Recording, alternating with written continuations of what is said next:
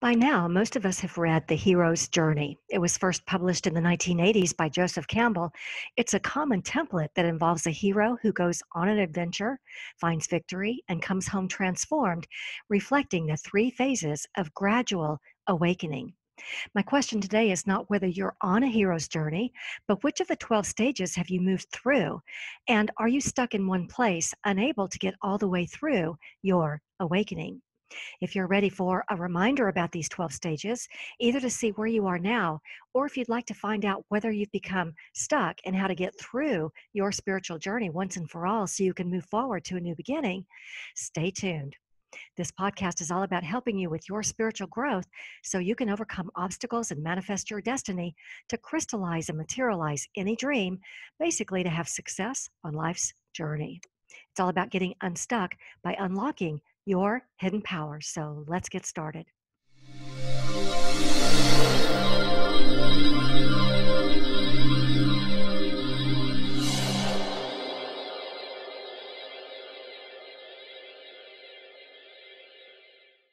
Hi there and welcome. My name is Remy, like Do Re Mi. I'm a best-selling author and creator of the Get Unstuck Revolution.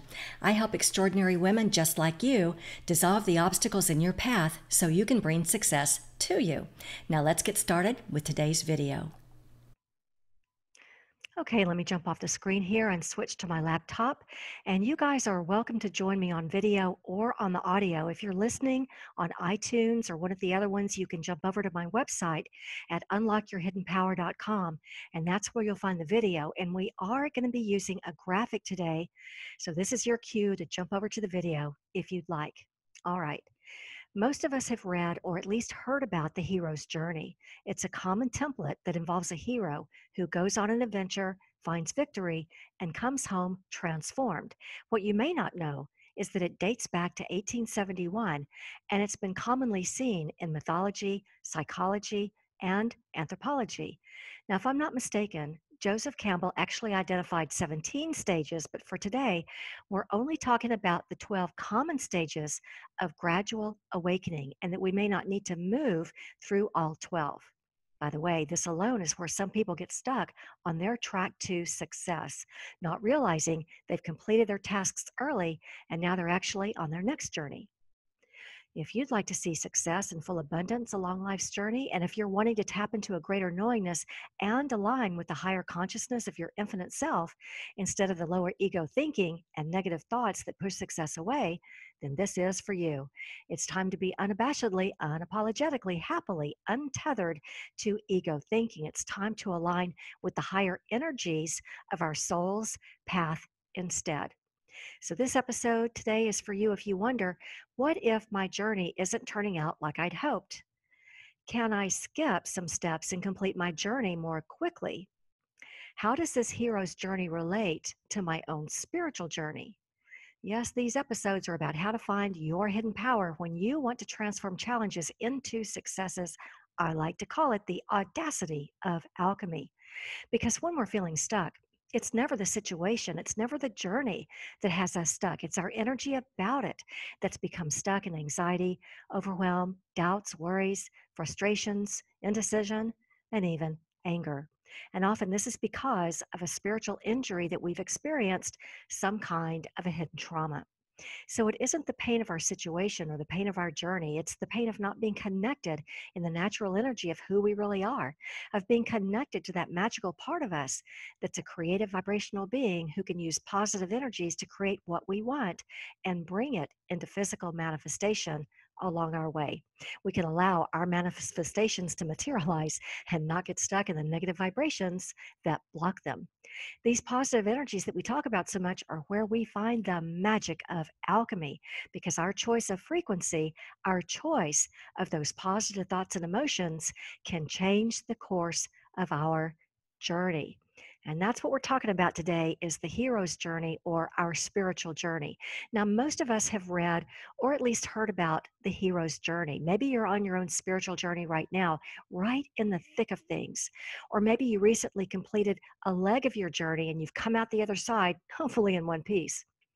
So, I'd like you to just quickly identify either the either the journey that you're on right now that's tripping you up and you just can't seem to get through it Or think of a journey you've been on recently.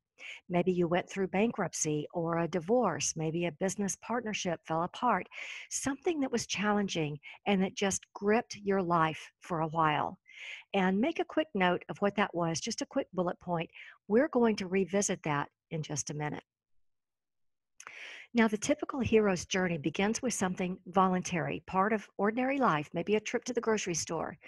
And then something involuntary happens, and suddenly there's a call to action, some kind of obstacle, an opportunity to step up, and the quest begins. Along our way, we meet a mentor, or perhaps we're influenced by a book or a movie. And then by the end, there's a death of ego, a death of control, a death of an, outdi- of an outdated idea, some kind of surrender. Maybe we surrender to a new way of being, leaving behind who we were forever. And through this journey, we become a new version of ourselves because this journey is all about gradual awakening. We're uncovering powers and strengths we didn't know we had. So that's the typical hero's journey. All right, maybe something didn't turn out perfectly like we hoped it would, and we discover, well, that's part of the journey, that it wasn't meant to be perfect, but we were meant to discover a new version of ourself. No matter what we've gone through, it creates a new beginning. And then it cycles again. And the new version of who we are begins a new hero's journey. Okay. Now, you can Google the hero's journey and find lots and lots of information about it. And if you look it up on Wikipedia, which I had never done until this week, you'll see a chart that outlines how different people have interpreted this over time. So I'll leave this added research up to you if you'd like to go a little deeper. But for today, I'd like to keep it simple and especially focus on which stages we've passed and where we might be stuck. And spoiler spoiler alert, some people get stuck right at stage number 10, which we'll talk about. So, with this idea of keeping it simple, here's an overview, and I'll put it on the screen for you here. The first thing you'll notice is we're going to cycle through different stages as we grow and learn. Each time we become a better version of ourselves and cycle through all 12 stages, we're back at the top, ready to begin a new journey as we keep growing. So, first, there at the top of the cycle, you'll see that we're in our ordinary, everyday, day to day life. Then we receive some kind of calling or a call to action. We may stumble right here and refuse the calling as we consider how difficult our task might be.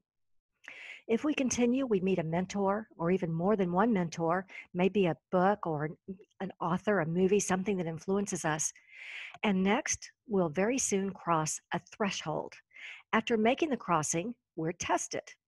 And then next, we're required to do some inner work, or we may face a deep inner crisis. And this brings about a death and a rebirth, perhaps a death of our ego thinking, especially if we're going through some kind of spiritual awakening or an ascension. Yes, for some of us, we go through a death of our ego thinking, and this is a good thing because it marks a new beginning. After defeating our ego or our fears, we'll find our reward or our treasure. And for some people, their journey may end right here. For others, there's an unexpected layer that pops up right on the heels.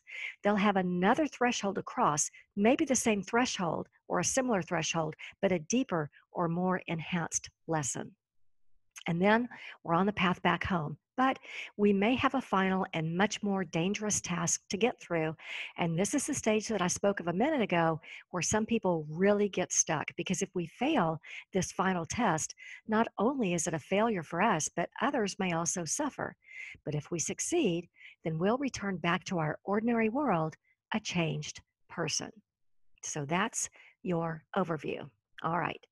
Now, in a minute, we're going to look a little closer and see which step you may be stuck on. Because when we think of patterns, it could be that the reason we keep, keep getting stuck at the same lesson over and over is because we get stuck in one of these stages and haven't moved through that lesson yet. I'm sure we can all think of someone who just goes into hiding rather than choosing to step up to a better version of who they are. No judgment, it just happens sometimes. We get stuck in the really tough lessons. Okay, we're going to zero in on each one of these stages with some short images that I'll put up on the screen here. And I think this will make it really easy to follow along. As I mentioned earlier, there have been many, many people who have used this since the 1800s, so you may be familiar with a slightly different version than what we see today. So I'd like you just to reflect back on either the journey you're on right now that's tripping you up and you just can't seem to get through it, or think of a journey you've been on at another time.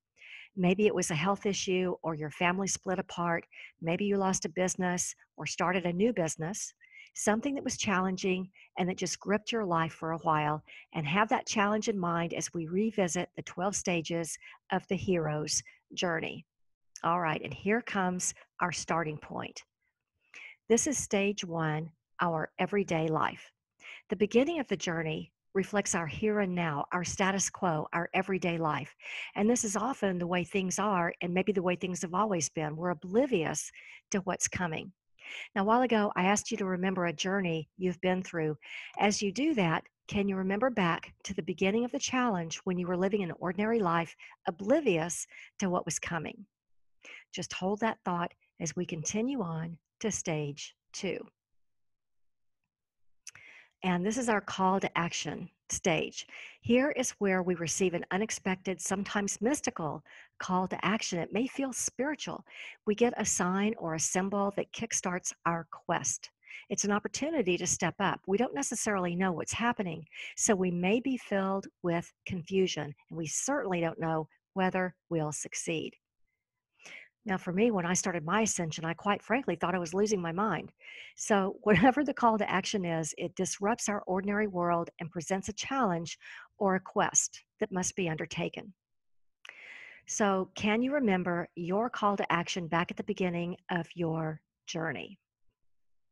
Okay, let's move on to the next stage. And this is stage number three. We may refuse the call. Although a part of us may feel eager to accept the challenge, we'll have doubts and fears to overcome. We're second guessing whether we're up for the challenge, so we may initially try and refuse our calling. It may seem too much to handle. Our everyday life feels much safer and more rational than the unknown road ahead. This is where some people just dive under the nearest rock. so, do you remember going through this stage? Or perhaps is this where you stopped because you simply couldn't overcome the fears? It was just too much to deal with. And if you did initially refuse the calling, have you found that the universe keeps reminding you, tapping you on the shoulder to let you know that you've been called to a journey? All right, let's move on to the next stage.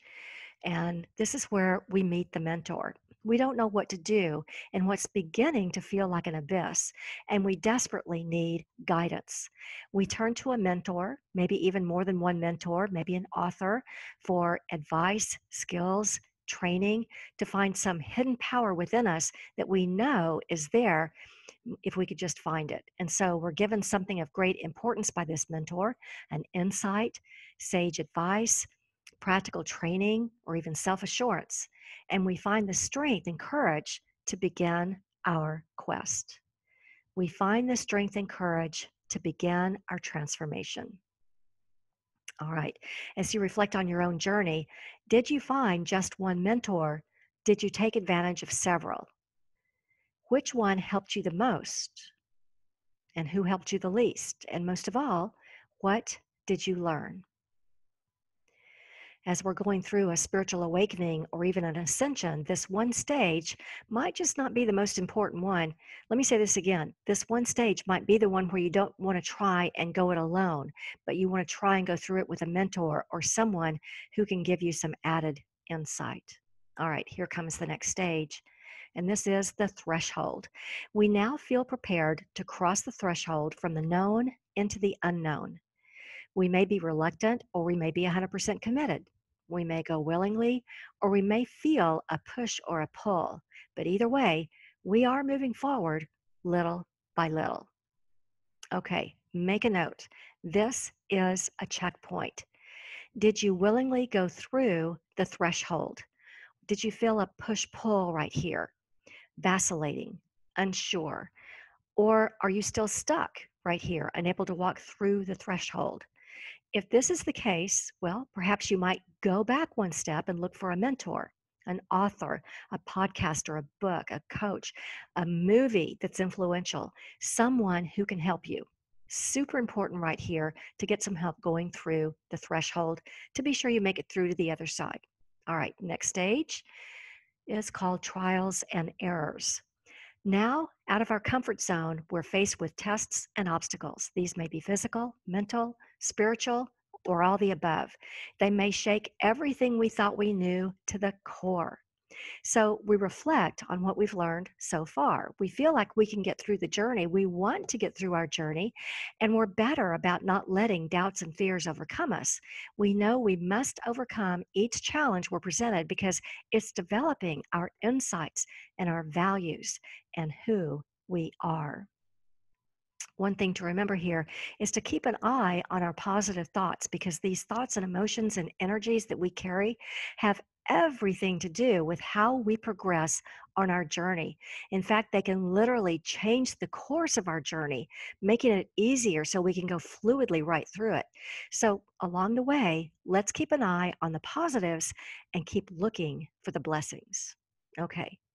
Reflecting on what you've gone through in your journey, is this where you are in the stage where you're being tested?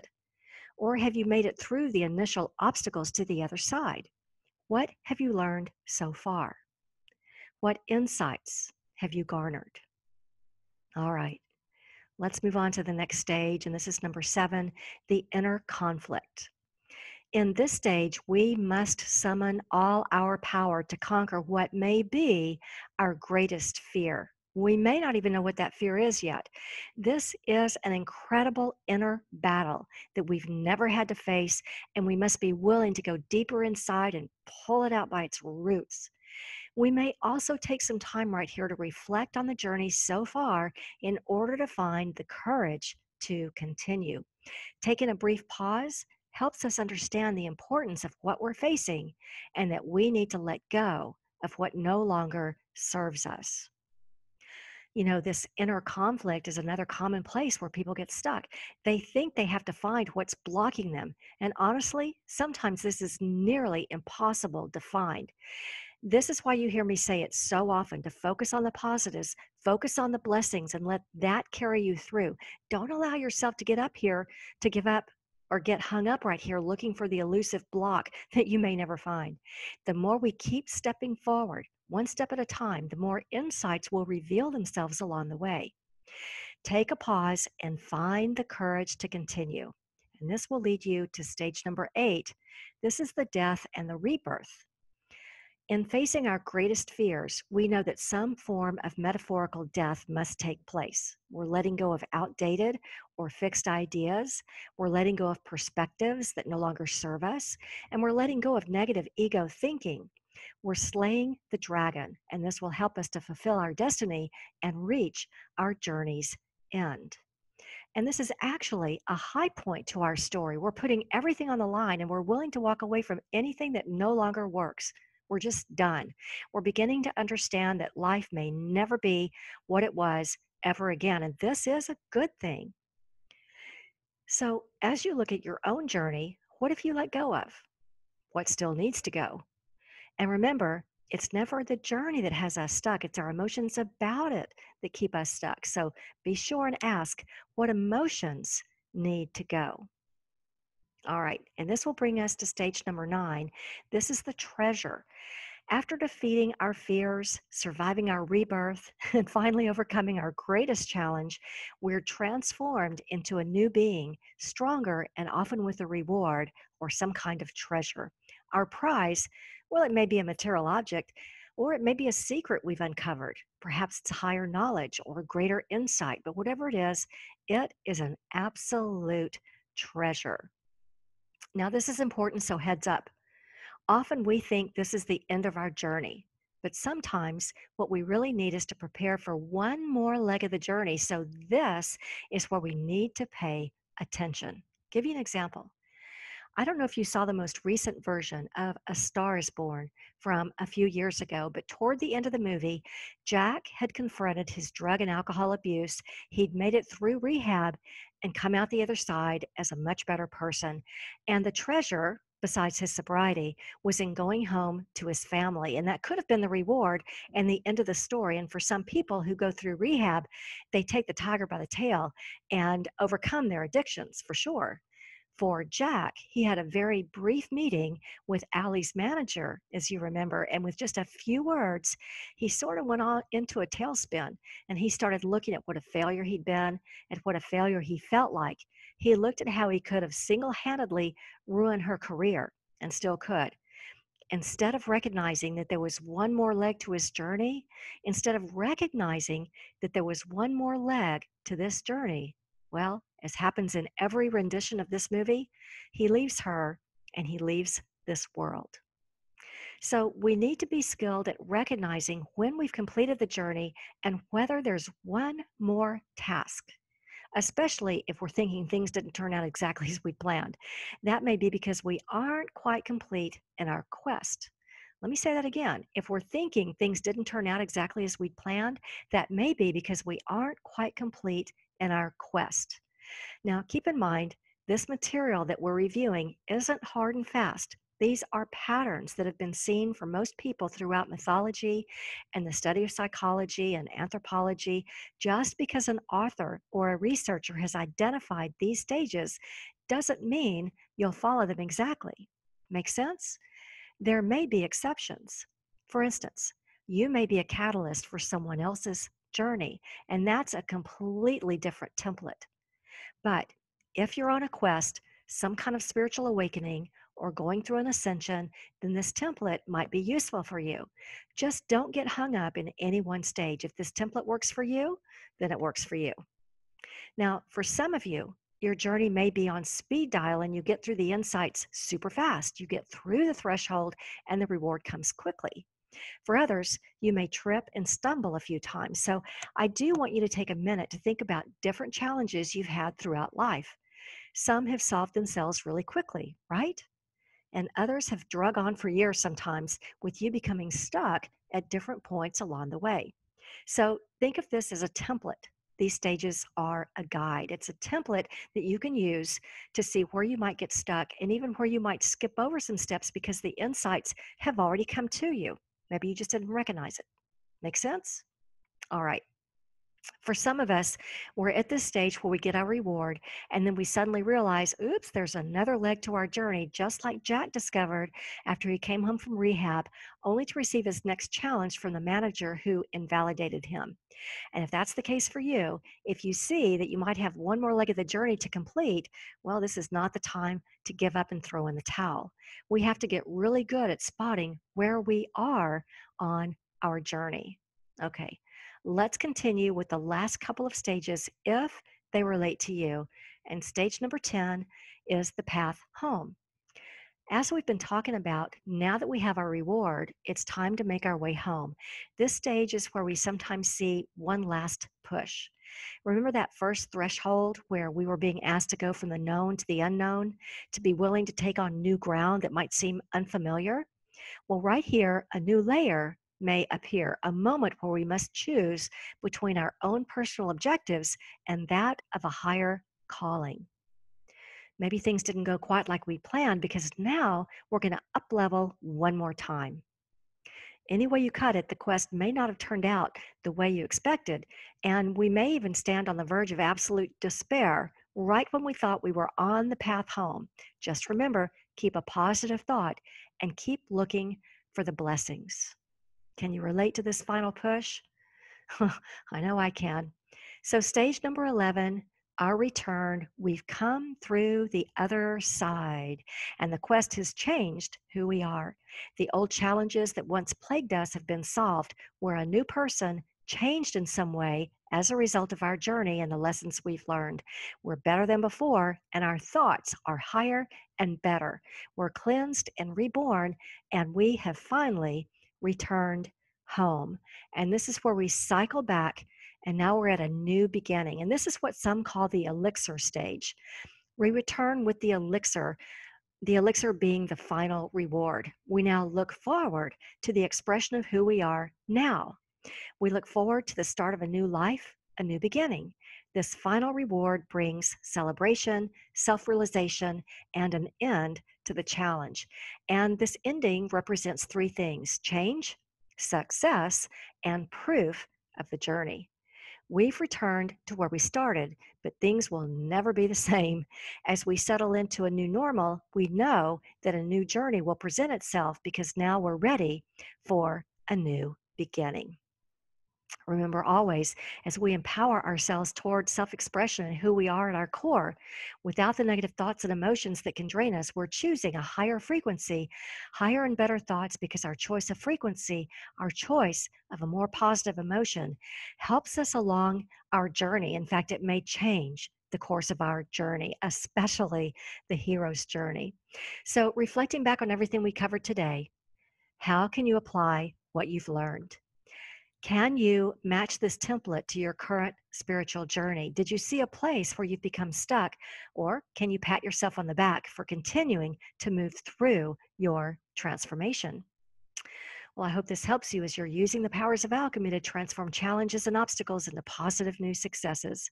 This podcast is all about helping you have success on your spiritual growth journey. It's all about getting unstuck by unlocking your hidden power. If you still can't get your head around what's got you stuck, you can tell me about it.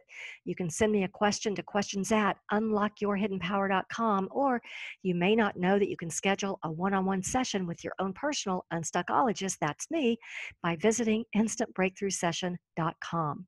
This private session is designed to help you tap into your greatest resource, that's you, and together we can make quite a team toward calling in the transformational powers of alchemy.